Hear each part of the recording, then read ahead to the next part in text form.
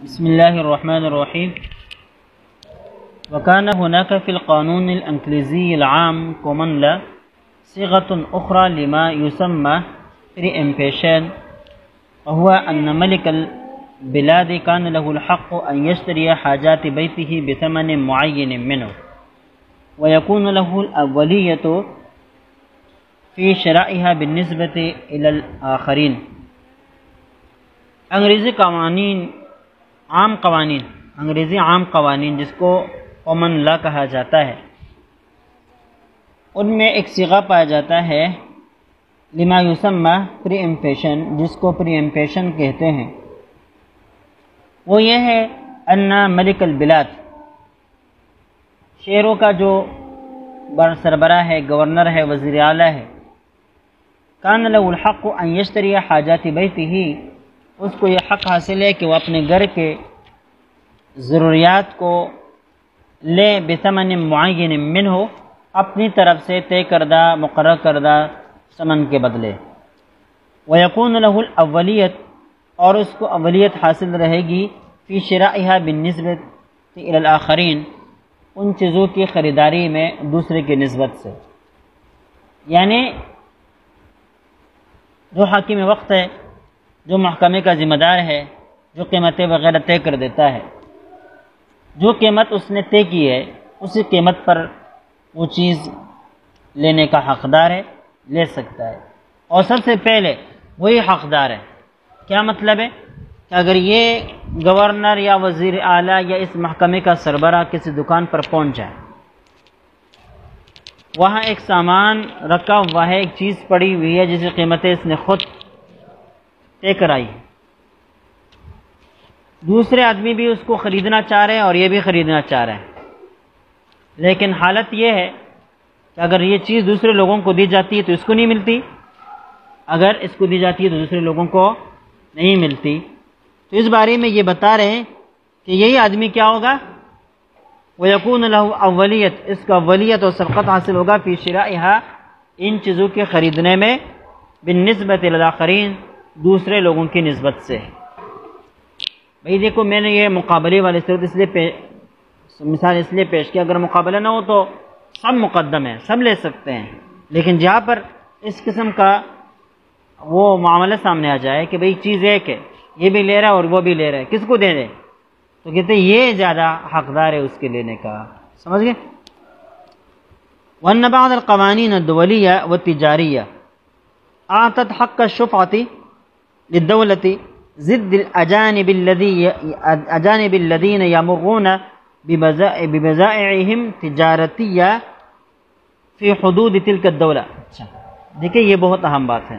और आजकल बैन अवी मसाइल के हवाले से बड़ी अहमियत की हामिल। है तफसील इसकी यह है कि भाई मेरा मुल्क है। ठीक है?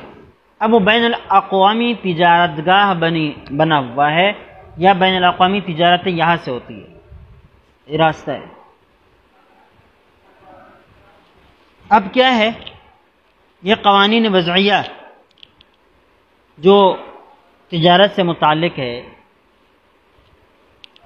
तो जिस मुल्क के ऊपर ताजर हजरात गुज़र करके अपना माली तजारत दूसरे मुल्कों में लेकर जाते हैं, कहते हैं जिस मुल्क से ये लोग गुज़रते हैं, उस मुल्क को पहले ये हक़ हासिल है कि उन तजारती माल को उनसे ख़रीदें।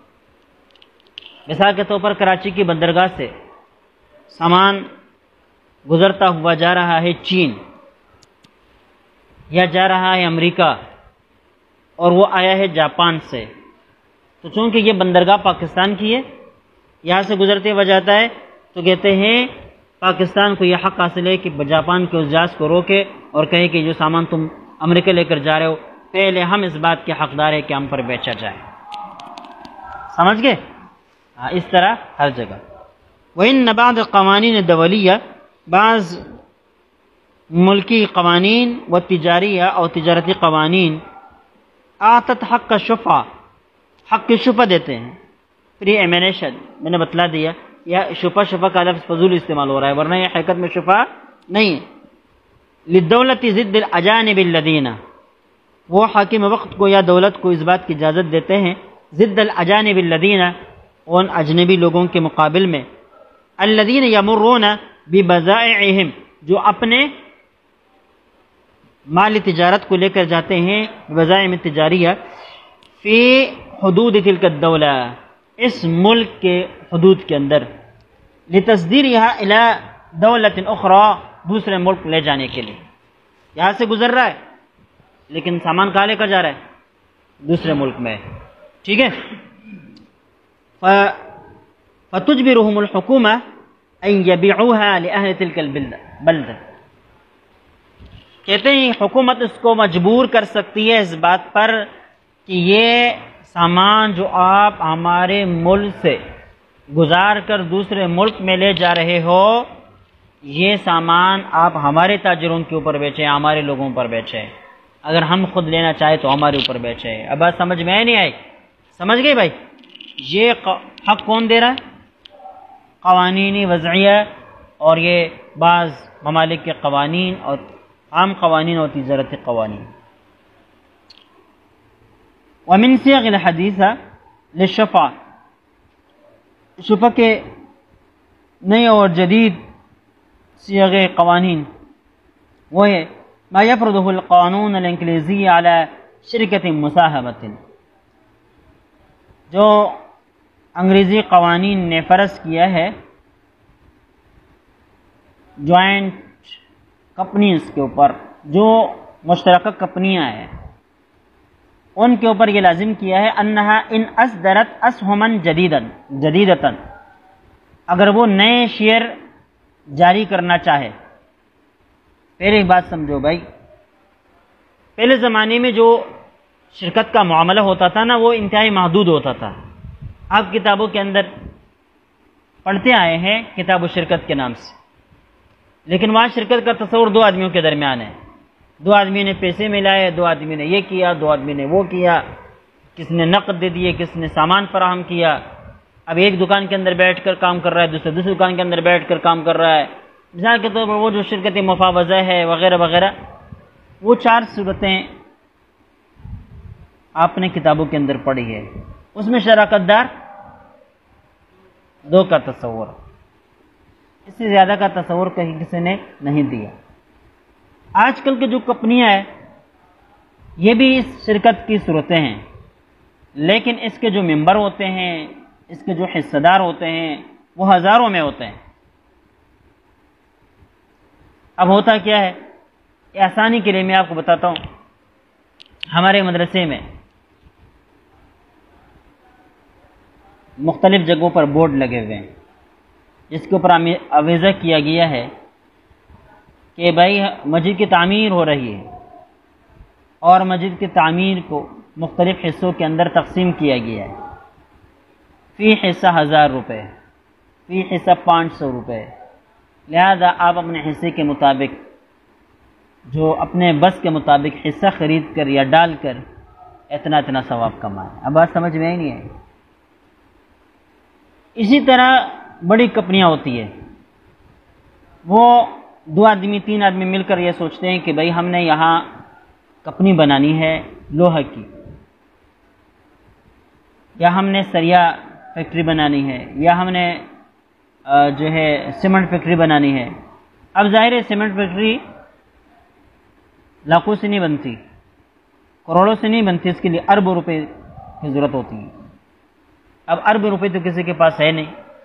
फिर साथ साथ इसके लिए इतनी बड़ी वसी ज़मीन की ज़रूरत होती है कि जहाँ से वो जो है वो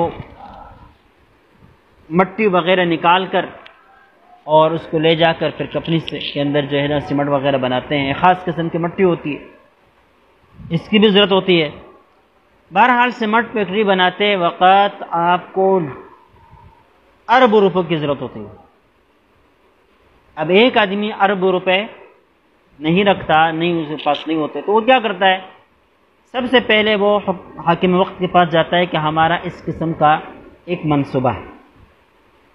लिहाजा हमारे इस मनसूबे को अपने यहाँ रजिस्टर करा दे। हुकूमत उसको रजिस्टर करा देती है और वो अपनी बाकायदा एक नाम हासिल कर लेती है। जब वो नाम हासिल कर लेती है तो उसके बाद पैसा जमा करने के लिए ये लोग जिन्होंने मनसूबा पेश किया है, अपने दोस्तों से, अपने साथियों से रबता करते हैं कि भाई हमने इस तरह कंपनी बनाने का इरादा किया है और हमने हुकूमती तमाम जितने भी कार्रवाइयाँ हैं, वो हमने मुकम्मल की है। अब हमने काम शुरू करना है, काम के लिए हमें पैसे की ज़रूरत है, हमें ज़मीन की ज़रूरत है, हमारे पास इतना पैसा नहीं है। हमारे पास इतनी ज़मीन नहीं है। लिहाजा आप हमारे साथ शिरकत करें, शरीक हो जाए, हिस्सेदार बन जाए। अब सबसे पहले वो दोस्तों को जमा करते हैं। अगर दोस्त इतने मिल जाए कि जो इस रकम को मुहैया कर सके, या इस ज़मीन को ख़रीद सके, या जिस जिस मशीनरी की ज़रूरत है, वो ख़रीद कर लगा सके तो फिर ठीक। लेकिन अगर साथी ये ऐसा काम न कर सके, इतने लोग पैदा न हो जाएँ तो फिर वो क्या करते हैं? शेयर नाम सुना है? हाँ। इसको कहते हैं हिस्स। ठीक है? और ये हिस्सत उनकी जमा है। उर्दू में हिस्सा का लफ्ज़ इस्तेमाल होता है। इंग्लिश में इसको शेयर कहते हैं। फिर वो शेयर जारी करते हैं। अखबार के अंदर कि भाई, एक कंपनी फला नाम से हैं और वो शराकतदारों को दावत देते हैं कि जो लोग हमारे साथ शरीक होना चाहे, वो शरीक हो जाएँ। एक शेयर पाँच लाख रुपए का, एक हिस्सा पाँच लाख रुपए का। इसका मतलब ये कि जो शख्स हमारे साथ कंपनी के अंदर शरीक होना चाहे तो कम अज़ कम शिरकत का आगाज़ पाँच लाख रुपए से वो कर सकता है। लिहाजा अब लोग जाते हैं शेयर ख़रीदते हैं। क्या करते हैं? शेयर ख़रीदते हैं। मैंने पाँच लाख रुपए दिए, इसने दिए। एक आदमी ने पाँच शेयर ख़रीदे, इसका मतलब क्या है? उसने पच्चीस लाख रुपए भर दिए। किसी ने दस शेयर ख़रीदे तो उसने पचास लाख भर दिए। बहरहाल जिसका जितना वो, वो होता है फिर उसके मुताबिक वो शेयर ख़रीद लेता है। समझ रहे हो? इस तरह ये कंपनी वजूद में आती है फिर अपना कारोबार शुरू कर देती है वगैरह वगैरह। फिर इन शेयर का भी मार्केट के अंदर कारोबार होता है लेकिन अब उसका यहाँ ज़िक्र करने के का मकाम नहीं है आगे उस पर जगह पर आ जाएगी। तो इससे ये जो कंपनी सामने आती है उस कंपनी को शिरकत मुसाहमा कहते हैं। क्या कहते हैं? शिरकत मुसाहमा। ठीक है? कि जिस कंपनी में हर शख्स अपने जमा कराए हुए पैसे के मुताबिक हिस्सेदार होता है। किसने एक हिस्सा लिया पाँच लाख रुपए का तो पाँच रुपये पाँच लाख रुपए के बकदर इस कंपनी के अंदर हिस्सेदार है। जिसने दो हिस्से लिए, दो शेयर लिए, दस लाख रुपए दे दिए तो वो दस लाख रुपए के हिस्से के बकदर इस कंपनी के अंदर शरीक है, शराकतदार है। इसी तरह जिसने बीस जमा किए किसी ने तीस जमा किए किसी ने चालीस जमा किए किसी ने करोड़ों जमा किए वो अपने पैसों के बकदर इस कंपनी के अंदर शरीक होता है। समझ गए? अब ये हो गया, पहली बार उन्होंने जो शेयर जारी किए, फ़र्ज़ कर लो, हज़ार, या हज़ार आदमी शिरकत कर सकते हमारे पास हज़ार शेयर है, हर हर शेयर हर हर हिस्सा पाँच लाख रुपए पर है। अब जो लोग शिरकत करना चाहें। ठीक है? अब इतने लोगों ने वो शेयर ख़रीदे और कारोबार शुरू हो गया। कंपनी के अंदर हज़ार आदमी शरीक हो गए। कितने आदमी? अब ये बात ख़त्म। ये बात। काम चलता रहा चलता रहा चलता रहा। कंपनी ने इरादा किया कि साथ साथ अपना कोई दूसरा शाख बनाते हैं या कोई ऐसा करते हैं, कोई गोदाम बनाते हैं या कोई और जगह ख़रीदते हैं ताकि कंपनी के लिए जो है कुछ आसानियाँ पैदा हो जाए। काम बढ़ाते हैं, बालफाज दिगर यू को काम बढ़ाते हैं। जब तखमीना लगाया तो तखमीना भी बहुत ज़्यादा हुआ। जो नया कारोबार वो आगे काम बढ़ा रहे हैं ना, कंपनी के अंदर इजाफा कर रहे हैं, तरक्की कर रहे हैं, उस तरक्की के लिए जो तखमीना लगाया, वो ज़्यादा था। अब जो शेयर होल्डर हजरात है, जो पहले से कंपनी के अंदर शरीक है, उनसे मुतालबा किया गया। कि भाई, हम जो है ना काम को बढ़ा रहे हैं, इतना खर्चा और बढ़ रहा है, अब शिरकत करेंगे या नहीं करेंगे? और हिस्सा लगाएँगे या नहीं लगाएँगे? और पैसे देंगे या नहीं देंगे? तो अब अगर वो क्या करते हैं? ऐसे मिलाते हैं तो ठीक है। नहीं मिलाते तो फिर दोबारा शेयर जारी कर दिया जाता है। दोबारा शेयर जारी कर दिया जाता है। यहाँ पर इसी मसले को ज़िक्र करते हैं कि आया जो शराकतदार है, उन लोगों से पूछना या उनके ऊपर शेयर पेश करना, ये पहले लाजिमी है कि नहीं? अगर लाजिमी है तो क्या, नहीं है तो क्या? इसको ज़िक्र कर रहे हैं। वमिन से हदीसा शुफ़ा। शुफ़ा की जदीद से और कानून। मायफ़रदुलक़ानून अंग्रेज़ी, जो अंग्रेज़ी कानून लाजिम करता है, अला शिरकत मुसाहमतिन। शिरकत मुसाहमा। के ऊपर। अनहा इन असदरत असहमन जदीदतन। वो ये है कि अगर ये कंपनी नए शेयर जारी करना चाहे और अरादत अनतबिया असमन मिन खजीनत या नए क्या शेयर खरीदना चाहे। अच्छा एक बात है और समझो। ये कंपनी अपनी शेयर भी जारी करती है। लेकिन बतौर कारोबार के ये कंपनी दूसरे कंपनियों के शेयर को भी ख़रीदती है, ताकि उसका काम चलता रहे, या अगर कंपनी से मुनाफा ना आए, दूसरी कंपनी से मुनाफा आता रहे। ठीक है? तो कभी कभी ऐसा कर लेती है। वजब आलिया बेमौजबिलक़ानून अंतारदा अवलन अला असहाबिलकदीमा तो इस कानून के मुताबिक, जिसको ट्रेजरी शेयर्स कहते हैं, इस कानून के मुताबिक कंपनी के ऊपर वाजिब है अंतारदहा कि इस शेर को पेश करे अवलन पहले अला असहाब असहबिलकदीमा पहले से जो शेर ओडल हजरात है पहले उनके ऊपर पेश करें वयकुन लहम अवलिया फ़ी इकतताबी फ़िल इकतताबी और फ़ी शराई असम खजीना उनको अवलियत हासिल होगी कि इन शेयर के अंदर अपने नाम पहले इंदराज कराएँ और फ़ी शराई खजीना, या जो ये ट्रेजरी शेयर है, इनके ख़रीदारी में अपना हिस्सा मिलाए क्या मतलब है? कंपनी जब नए शेयर जारी करे तो नए शेयर मार्केट में पेश करने से पहले पहले जो पहले के शराकतदार है, उनके ऊपर पेश करें। उनके ऊपर क्या करें? पेश करें। अव तबिया असमन मिन खजीनत या या जो कंपनी ने पहले से शेयर लिए हुए हैं, अब उन शेयर को खरीदना, बेचना चाहते हैं। अब उन शेयर को बेचना चाहते हैं। तो अब क्या करें सबसे पहले? जो पहले से कंपनी के शेयर होल्डर्स है, उनके ऊपर पेश करें कि हमारे पास ये शेयर दूसरे कंपनी के हैं, या ये हमारे पास ये शेयर है, हम इन बचे हुए शेयर है, हम इन शेयर को अब बेचना चाहते हैं। तो सबसे पहले जो पहले से इस कंपनी के शराकतदार हैं, उन पर पेश करें। अगर वो ले ले तो ठीक है, नहीं ले तो उसके बाद फिर मार्केट में जाके उनके फ़रोख्त करने का ऐलान करें या उसको जारी करें। समझ गए? ये बहुत आम है। आजकल ये बहुत आम कारोबार चल रहा है।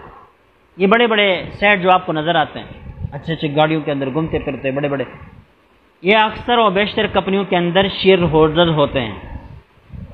कुछ काम भी नहीं कर रहे होते हैं, लेकिन पैसा उनको आ रहा होता है।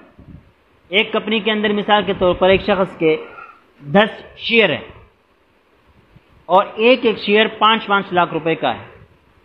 तो उसका मतलब क्या हुआ कि पचास लाख रुपए उसके कारोबार में चल रहे हैं। पचास लाख रुपए जो कारोबार में चल रहे हैं, माहाना उनकी आमदनी आती है। समझ रहे?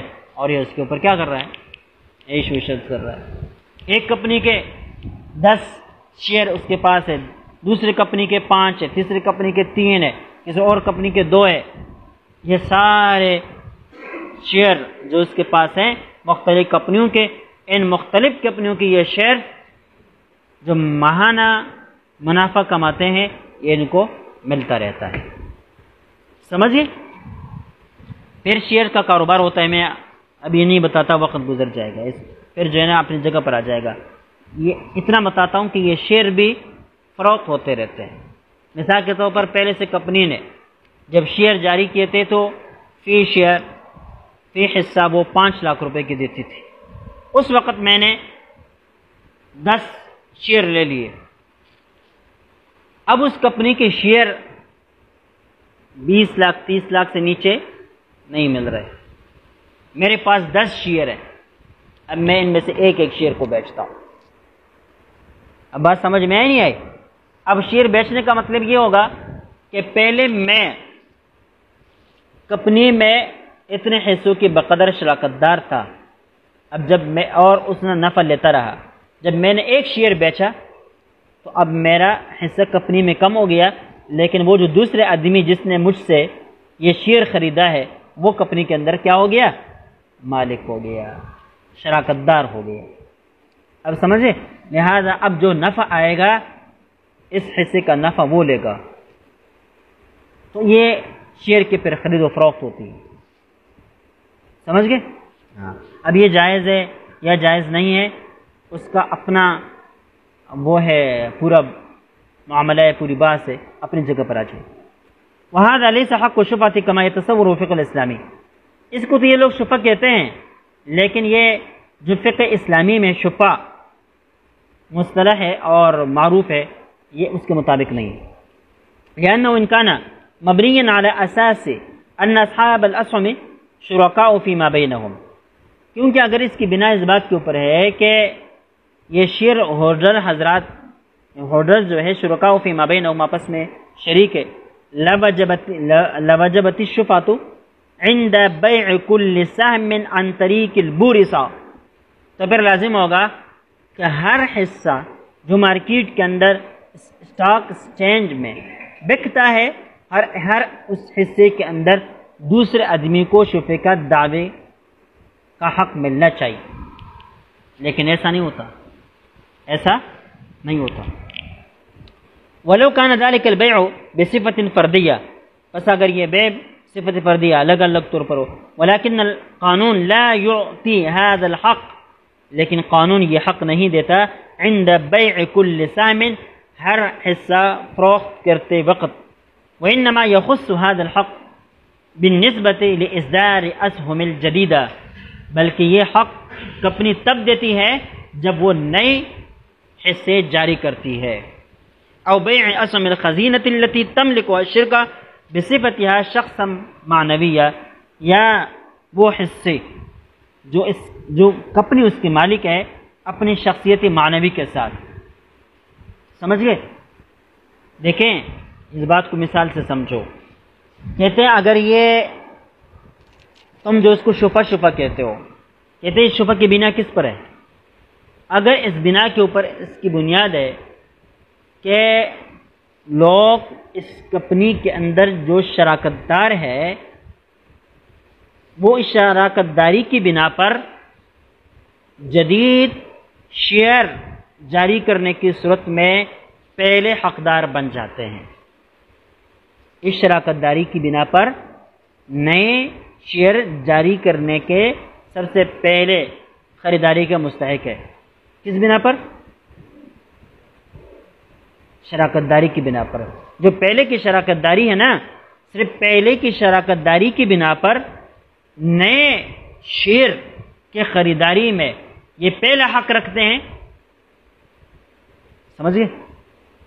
अगर ये बुनियाद है तो फिर इस पर यह सवाल उठता है कि फिर ये सिर्फ़ नए शेयर जारी करने की सूरत में उनको ये हक नहीं मिलना चाहिए बल्कि जो भी हिस्सा फ़रोख्त होता है, कंपनी का, चाहे नया हो, चाहे पुराना हो, हर हर हिस्से के अंदर शराकतदार को, शुफे का दावे का हक हासिल होना चाहिए।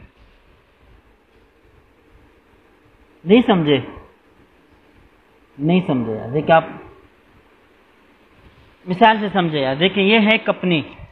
ये क्या है? कंपनी है।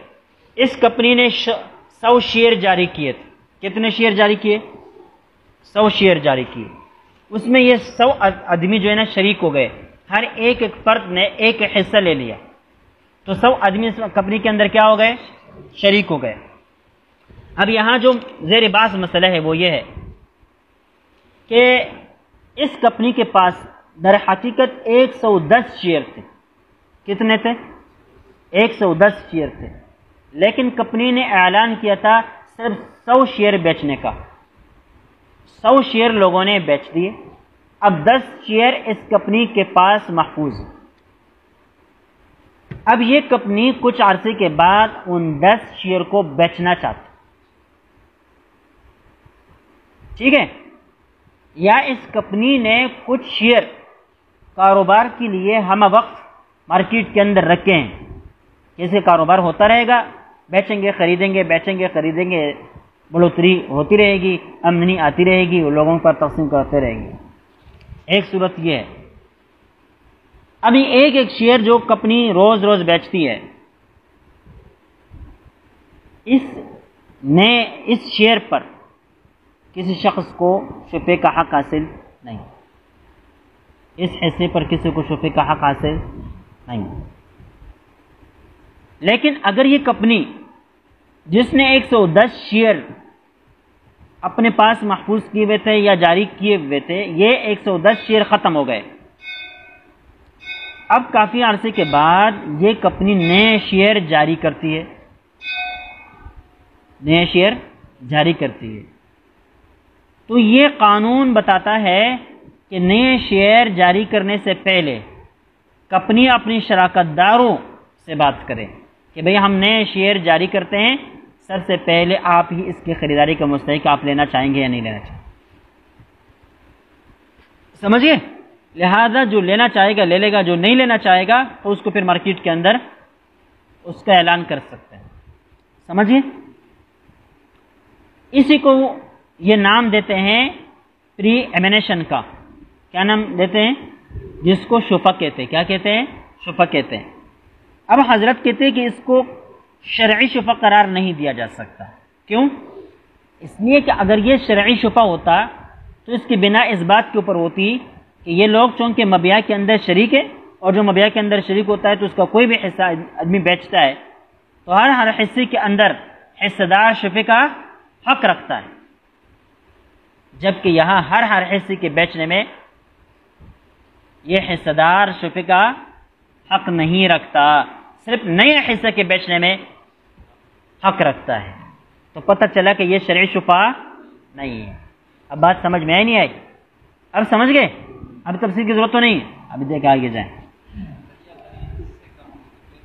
हाँ?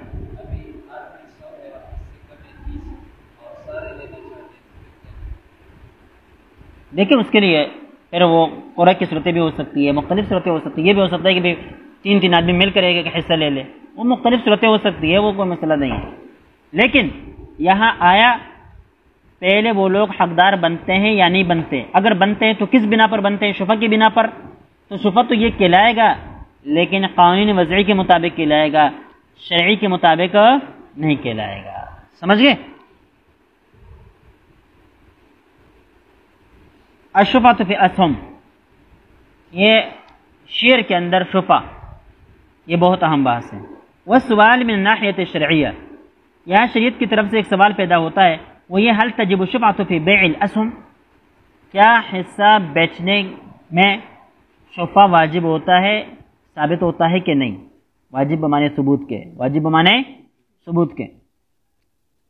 क्या मतलब है भाई? एक कंपनी के शेयर फ़रोख्त हो रहे हैं। अब उसके फ़रोख्तगी में जो दिगर शराकतदार है, वो शोफे का दावा कर सकते हैं या नहीं कर सकते? समझ गए? या मैं शेयर होल्डर हूँ कंपनी का, मैं अपना हिस्सा बेचता हूँ। आप भी कंपनी के शेयर होल्डर हैं तो क्या आप शफे का दावा कर सकते हैं मुझ पर के ऊपर? या मुझसे जो शेयर ख़रीद रहे हैं, उसके ऊपर आप शफे का दावा कर सकते हैं या नहीं कर सकते? यह मसला समझिए अन सामा इनकान इबारत हिस्सत मुशात फ़ी मौजदात शिरका कमा कर्रहलमासरून फ़ैनहा तश्तमिल अला मनकुलात वग़ैर मनकुलात वरुबमा तकून नस्बतमनकुलात फ़ीहा अक्सर मिन गैर मनकुलात यहाँ देखें एक बात समझे यार कंपनी जो कारोबार करती है ना तो कंपनी के पास कुछ शराकतदारों की रकम वो नकदी की सूरत में होती है। और कुछ रकम उनके पास नकदी की सूरत में नहीं होती, बल्कि ख़ाम माल की सूरत में होती है। बाज़ रकम वो ज़मीन पर ख़र्च की भी होती है। बाज़ रकम वो मशीनरी के ख़रीदारी में खर्च कर चुकी होती है। अब समझ गए? मिसाल के तौर पर सौ आदमी इस कंपनी के अंदर शरीक है। हर हर आदमी ने पचास पचास लाख रुपए दिए। तो कुल कितने बने? पचास करोड़। अब पचास करोड़ रुपए पर कंपनी का आगाज़ हो गया। पचास करोड़ रुपए पर जब कंपनी का आगाज़ हो गया तो कंपनी में कुछ पैसे बर वक्त ज़रूरत काम आने के लिए उन्होंने नकद रख दिए। अपने पास रखे या बैंकों में रखे, किसी भी, बस नकद है। क्या है? नकद है। फ़र्ज़ कर लो, एक करोड़ रुपए। नकद है। बाकी जो उनचास करोड़ रुपए हैं उनचास करोड़ रुपए में से बीस करोड़ रुपए की उन्हें ज़मीन खरीदी। बीस करोड़ रुपए की उन्होंने मशीनरी खरीदी। चालीस करोड़ ये चले गए, नौ करोड़ बाकी बच गए। इन नौ करोड़ रुपए के ज़रिए से उन्होंने खाम माल ख़रीदा, जो माल तैयार होता है, उसके लिए जो मादे होते हैं, ठीक है, मवाद होते हैं, उस मवाद को खाम माल कहते हैं। वो खाम माल ख़रीद लिए। अब बात दरअसल ये है कि कुल असासे, कुल पैसा जो शराकतदारों से जमा हुआ है, वो है पचास करोड़। कितना? पचास करोड़। और इन पचास करोड़ में से एक करोड़ अब नकद है, बाकी उनचास करोड़ या तो ज़मीन की सूरत में है, या मशीनरी की सूरत में है, या खाम माल की सूरत में अब समझ गए? अब यहाँ देखना यह है कि इन नसामा इनकान इबारतन। अगर ये हिस्सा इबारत है हिस्सत मुशातिन एक मुश्तरक हिस्से से फ़ी मौजूदात शिरका, कंपनी के मौजूदात के अंदर। कमा कर रहुलमासरून जैसे कि मासर ने इसी की को ज़िक्र किया है। फ़ैन नहा तश्तमिल मनकूलातिन वग़ैर मनकूलातिन अब अगर ये मौजूदा कंपनी की मौजूदा चीज़ों का नाम है, यूँ समझो कि भाई टोस चीज़ें हैं, नकदी नहीं है, सामान है। लेकिन वो सामान क्या है? फ़ैन ना तश्तमिल मनकूलातिन वग़ैर मनकूलातिन। उस कंपनी के उन चीज़ों में से बाज़ चीज़ें मनकूली है और बाज़ गैर मनकूली है। जो मनकूली है, मिसाल के तौर पर मशीनरी है, खाम माल है, ये सारे मनकूली है। गैर मनकूली, जो इस कंपनी की ज़मीन है। वरूबमा तकून नस्बत मनकूलात फ़ी है अक्सर मिन गैर मनकूलात कभी कभी ऐसा होता है कि मनकूलात की तादाद ज़्यादा होती है, गैर मनकूलात के कम। ज़मीन पर कुल खर्चा हुआ है फ़र्ज़ कर लो हमने क्या कहा? बीस करोड़। और बाकी कितना है? मशीनरी, बीस करोड़। और नौ करोड़ का खाम माल तो कुल उनतीस करोड़ हो गए। तो अब देखें, मनकुलात ज़्यादा गैर मनकुलात कम वलिदालिक ला तजरीफ़ी शुफ़ा अला कौल जमहूर इस वजह से जमहूर के कौल के मुताबिक इसके अंदर शुफा नहीं चलता क्यों इसलिए कि शुफा गैर मनकूली चीज़ों के अंदर चलता है ये मनकूली है समझ गए वक़्त ज़कर बादुलमालिकिया बाज़ ममालिक ने यह ज़िक्र किया है अन्न इन वक़ाल बेतिन बेमाफ़ी ही मिन रक़ीकिन व रुहन व बिर व अलात। लेकिन उसमें क्या है?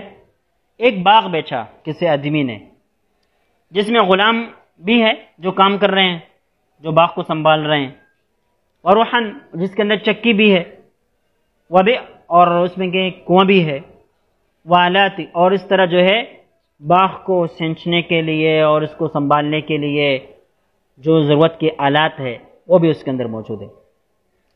फ़ैन नहू तजब तो शुबा तो फिल जमी अला कौल सहनून अल्लामा सहनून रहीमुल्ला के कौल के मुताबिक शुफा उन सब के अंदर होगा शुफा क्या होगा अब देखें गुलाम मनकुली है कि नहीं अच्छा ये रोहा चक्की मनकुली है कि नहीं मनकुली बैरून गैर मनकूल है लेकिन चलो फिर भी पानी से निकाला जा सकता है ठीक है वह आलात आलात क्या है सारे मनकूल है लेकिन ये मनकूली चीज़ों में भी अलामा सोनून के कौल के मुताबिक ज़मीन के ताबे बनकर जबाक के ताबे बनकर इसमें शुफा होगा ठीक है वलकौल आखिर दूसरा कौल उनका यह है लातस वो तो शुभा तो है इसमें शुभा साबित नहीं होगा समझ गए वलाकिन कायलिन बिलजवाज इन जब वज़ू लिकोन रकीक व रुहा वगैरह ताबियातर्स जिन लोगों ने इस बाग के, के साथ साथ ग़ुलाम में वगैरह वगैरह चीज़ों में शुफा को जायज़ करार दे दिया तो उन इल्लत में क्या बयान की इल्लत ये बयान की, लिकोन रक़ी की वर्रहा वग़ैरहा ताबिअतन लिल अर्ज़ी।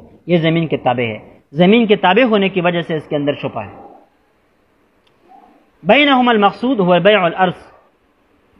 मकसूद इनकी ज़मीन है। वला अन नकुल ज़ालिका फिल असम।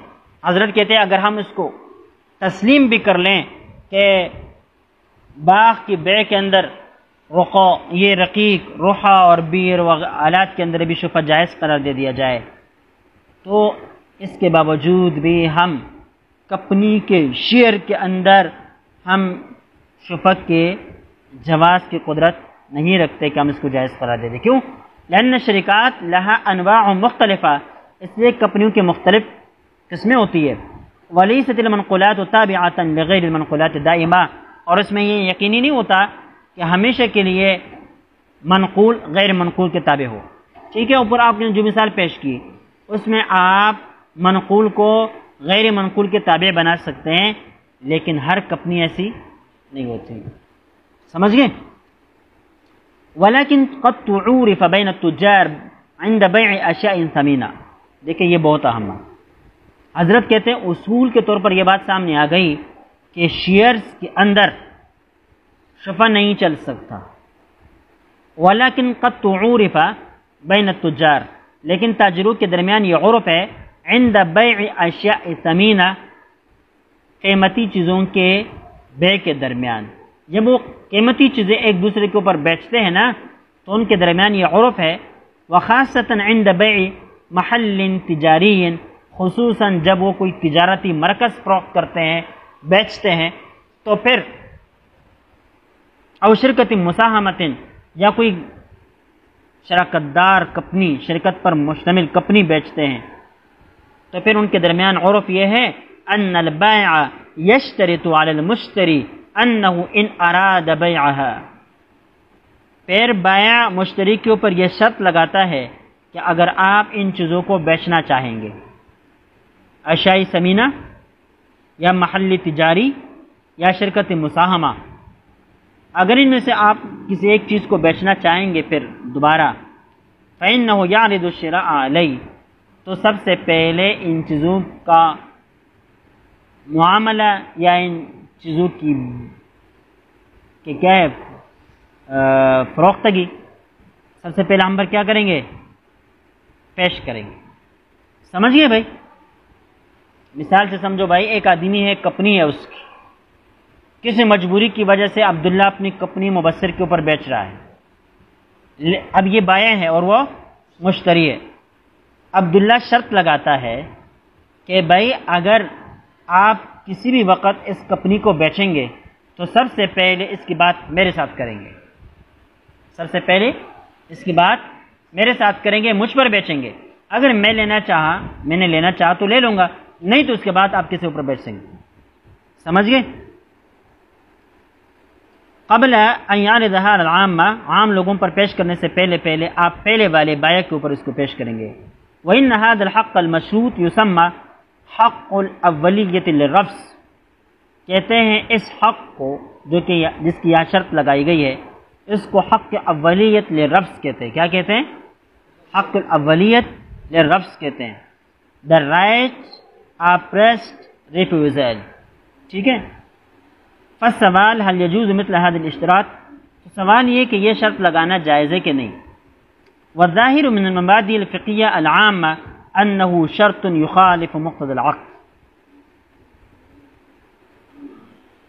आम फ़िकी मबादी के ज़ाहिर में से ये बात है कि अन शर्त युखालिफ मुख्तलक़ कि ये शर्त ऐसी है जो मुख्त आक़द के ख़िलाफ़ जो मुख्त आक़द के ख़िलाफ़ फ़ला जुज़ इश्तरात फिल बे लिहाजा बे में इस जैसी शर्त लगाना जायज़ नहीं हती फ़ी मदहब हनाबला यहाँ तक कि हनाबला के मसले के मुताबिक भी अल्लदीन युजविज़ून शर्तन वाहिदन फिल बे जो बे के अंदर एक शर्त को जायज़ समझते हैं कौल इबन खुदामा इबन खुदामा कहते हैं व इन शरत फिल मबी अगर मबिया के अंदर यह शर्त लगाई इन हुआ बाहू अगर बाद में ये इसको बेचेगा फल बाय अहक भी बिसमन तो बाया जो फ़िलहाल बेच रहा है, ये बाया फिर ज़्यादा क्या है हकदार होगा ख़रीदारी का बेसमन समन के साथ। यानी उस वक़्त का जो भी समन होगा, उस समन के मुताबिक सबसे ज़्यादा मुस्तक इस मबिया का यही बाया होगा जो अभी बेच रहा है। जो अभी क्या कर रहा है? बेच रहा है। फ़रवल मरवदी इमाम अहमद इमाम अहमद रहीमुल्ला से अल्लामा मरवदी ने नकल किया अन क़ाल फ़िमान हदीस नबी हदीस नबी वसल्लम नबी पाक वसल्लम के इस हदीस के अंदर उन्होंने ये फरमाया ला शर्तानी फ़ी बेन कि बे के अंदर दो शर्तें नहीं तो गोया कि एक शर्त जायज़ क्या यानी अन्न फासदुन यानी फासिद शर्त नहीं लिअन्नहु शर्त अन यबीअहु इयाहु वहीं युतियहु इयाहु बिसमन अव्वल उसने ये शर्त लगाई है कि वो दोबारा उसको बेचेगा वहाँ युतियहु इयाहु बिसमन अव्वल और क्या करेगा समन अव्वल पर वापसी होगी फ़ोमा शर्तान फ़ी बेन नुहिया अनोमा तो ये दो ऐसी शर्तें हैं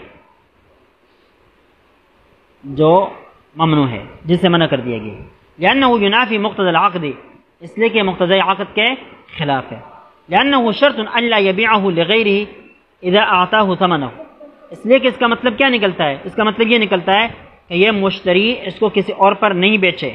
इधर आता हो समन हो जब ये बाय उसको समन वापस करके दे देगा। तो वो कमाल शरता अल्लाह यबियाहू अल्ला मिन फलान तो ये ऐसा हो गया, जैसे कि उसने ये शर्त लगाई हो कि ये मोबाइल मैं आप पर बेचता हूँ, लेकिन शर्त यह कि फ़ना पर नहीं बेचोगे। तो ये शर्त लगाना क्या है? जायज़ नहीं है। अब अल्लाह ये बेया हूँ असला, या ये मैं शर्त ये लगाऊँ कि ये मोबाइल मैं आप पर बेचता हूँ, लेकिन शर्त ये कि किसी और को, किसी को भी नहीं बेचोगे। बस तुम्हारे खिलाफ की तुम्हारे पास रहते रहते गुम हो जाए, ख़राब हो जाए, ठीक है, लेकिन किसी और पर नहीं बेचोगे। तो ये दोनों शर्तें लगाना फासिद है। वरबा अनु इसमाइल बिन सईद। इसमाइल बिन सईद ने उनसे रिवायत की अलबे जायज़न। के बे जायज़ हो जाएगी। वहतमिल कलाम अहमद फिर रिवायत मरवज़ी कहते हैं, यहाँ ये अहतमाल है कि मरवज़ी की रिवायत के अंदर इमाम अहमद का कलाम महमूल किया जाए अला फसाद शर्त, किसके ऊपर? शर्त के फसाद के ऊपर। यानी शर्त फासद बे सही शर्त फासद बे सही वफ़ी रिवायत इसमाइल बिन सईद अला जवाज़ बे, और दूसरी रिवायत के अंदर क्या? इसमाइल बिन सईद की रिवायत के अंदर बे के जवाज़ के ऊपर इसको महमूल किया जाए। फ़यकून अलबे सहीन व शर्त फासदन। लिहाजा दोनों रिवायतों को मिलाकर नतीजे ये निकलेगा कि बे सही है, शर्त फासिल। बे, गोया के मिरवजी ने यह कहा कि यह शर्त लगाना फासिद है। आगे बे का हुक्म बयान नहीं किया। इसमाइल बिन सईद ने क्या किया? बे का हुक्म बयान किया कि बे सही है। लिहाजा बे यहाँ सही हो गई। मेरे वजी ने बताया था कि शर्त फासद है, लिहाजा शर्त फासद हो गई। दोनों को मिलाकर यह नतीजा निकला कि बे सही, शर्त फासद बे सही, शर्त फासद ये किसके मसलक के मुताबिक? हाँ हमारा मसलक। वलेकिन हमारे मसलक के मुताबिक तो ये जायज़ मायज़ नहीं है। लेकिन अब इस सूरत को हम जायज़ किस तरह करार दे सकते हैं या उसका मुतबादल जायज़ सूरत कैसे पेश कर सकते हैं, वो ये पेश करते हैं। वला युमकिन अयुखर रजा अलामा क़ालमताखरून मिन फ़ुक़हा वलमालिकिया फ़ी बेवफ़ाई लेकिन यहाँ मुमकिन है कि इस मसले की तखरीज की जाए उस कौल के मुताबिक जो मुताखरीन ने कहा है अनफी मुताखरीन ने और मालिक ने कहा है फ़ी बेवफ़ा बेजल वफाक की सूरत में पहले गुजर चुका है तफसील के साथ कि इंद लाकत ये शर्त लगाना तो जायज़ नहीं है कि तुम दोबारा इसको मुझ पर बेचोगे अगर मैं अपने पैसे, मैंने अगर आपको पैसे दे दिए। इसको क्या कहते हैं? बेउल वफा कहते हैं। हज़रत फरमाते हैं कि भाई, इसको हम आम बुआत के ज़ुमरे में डालकर जायज़ तो करार नहीं दे सकते। लेकिन बेउल वफा की सूरत में डालकर इसकी जवाब से कोई सूरत फराम हो सकती है। वो ये है अन वफ़ा इलम यकुन मशरूतन फ़ैसल बिलआक़द अगर ये बेवफ़ा सुलब आकद के अंदर इसकी शर्त न रखी जाए वक़ल बे बेदून आई शर्त और बे बे बग़ैर किसी शर्त के वाक़ हो जाए तो बे सही हो जाएगी बे क्या हो जाएगी लेकिन इसके बाद तुम वादल बाय मन फ़सल बे फिर बे से हट कर बाया वादा करता है अन्नकुल्लमा जा अलमुश्तरी बिसमन कि जब भी वो मुश्तरी के पास पैसे लेकर आएगा फ़ैन नहू यरुद्दमबिया तो मुश्तरी या मबिया उस बाय को वापस करेगा यही है बेवफ़ा कमा फसलना फ़ि मबहसी बेवफ़ा जैसे कि हम बेवफ़ा की बास में इसको तफसील से बयान कर चुके हैं। फ़कदान का हुना कहते यहाँ पर भी ऐसा है। इन वक़ान बे खालियम में शर्त, अगर बे बग़ैर किसी शर्त के वाक़ हो जाएँ। सुम बादल मुश्तरी, फिर मुश्तरी वादा करे। अन इन अरादल बया, कि अगर ये मुश्तरी इस कंपनी को बेचेगा या इस कीमती चीज़ को बेचेगा, या इस महल्ली तिजारी को बेचेगा फ़ैन नहू या रिजू अव्वल बाया तो सबसे पहले इसी बाय के ऊपर उसको पेश करेगा। फ़ाहिर अनमान मिन ज़ालिक तो फिर ज़ाहिर बात यह है कि इससे कोई मान्या मौजूद नहीं, यानी इस सूरत में फिर जायज़ होगा। इस सूरत में फिर क्या होगा? जायज़ होगा। अल्लाह आलम। समझ गए भाई? कोई खिफा तो नहीं? हाँ? चलिए।